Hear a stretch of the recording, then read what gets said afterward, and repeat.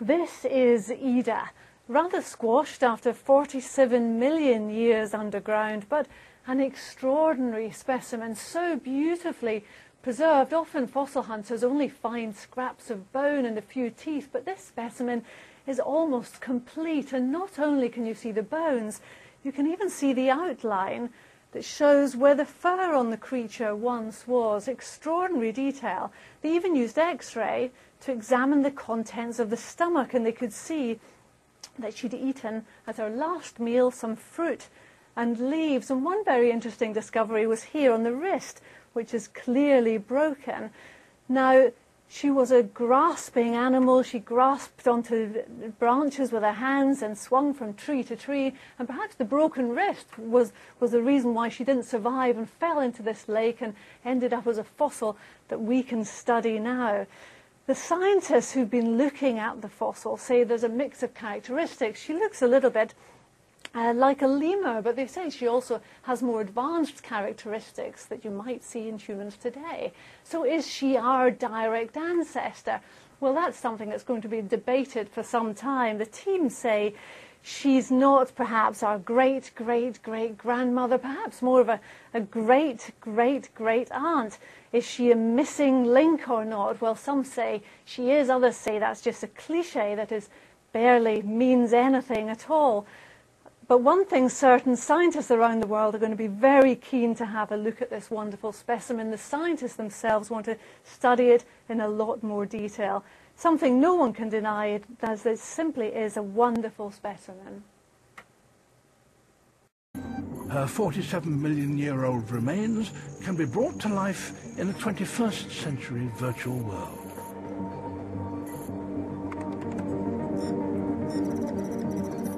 Laser scanners combined with the computerized tomography produce a digital code of her body, which once processed creates an accurate 3D model. We are able, using these tools, to see Ida as never before.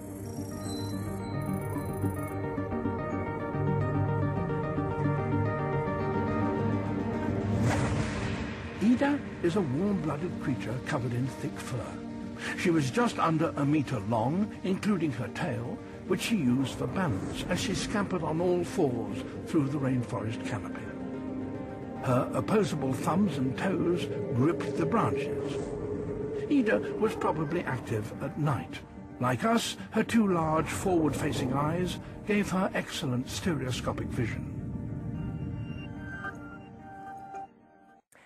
Let me try to take you back to Ida's time, the Eocene period. Now, 47 million years ago, I would have been standing underwater. This was the bed of a huge volcanic lake, the Messel Pit. Now, the animals that lived around in the tropical rainforest would have come to the waters to drink, but bubbling up from the surface was poisonous carbon dioxide, and the animals, like Ida, would have been gassed and fallen in and drowned and then ended up sinking to the bottom into the mud and effectively being pickled, slowly embalmed and perfectly preserved. And millions and millions of years later, that mud turned to shale. And thousands of incredibly preserved creatures have been dug up here. Bats, lizards, species of crocodiles, all sorts of things, including miniature horses the size of dogs. It's quite slippy here. Now, this gives you some idea of the sort of things that have been dug up here. This is a bowfin, 47 million years old, probably like Ida, and you can see the tail here and even the gills. And there are literally thousands of fish and other animals here still waiting to be dug up. Ida, though, is something special. She is the most complete fossil primate ever found. And as well as a perfectly preserved skeleton, there's the, the shadow outline of her fur. You can see the contents of her stomach and know that her last meal was berries. And she is something else that's important too.